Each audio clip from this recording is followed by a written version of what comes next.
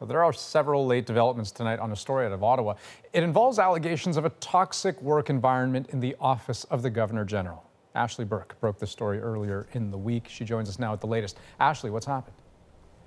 Well, late this evening, the Privy Council office released a statement confirming that it will conduct a third party review of harassment claims at Rideau Hall.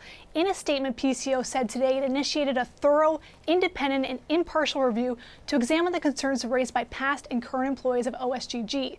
Harassment has no place in any professional workplace. It is a public service priority to advance efforts to more effectively prevent and resolve issues of harassment. Now, this is in response to our story Tuesday, in which a dozen sources described a toxic environment at Rideau Hall and a culture of fear that, that, that involved belittling and berating employees to the point where some have been reduced to tears or have left the office altogether. And Ashley, is there any word out of uh, Rideau Hall on this? Well, behind the scenes today, sources said the atmosphere at Rideau Hall right now is heavy and it's tense. The office arranged a virtual meeting with the ombudsman and employees today in light of our story. And just tonight, we heard from the Governor General, Julie Payette, for the first time since the claims were published.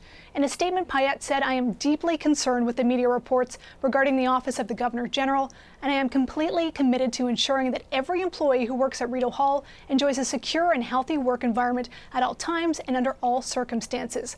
I take harassment and workplace issues very seriously, and I'm in full agreement and welcome an independent review. And you'll also note there, Andrew, she did not deny the claims. Mm.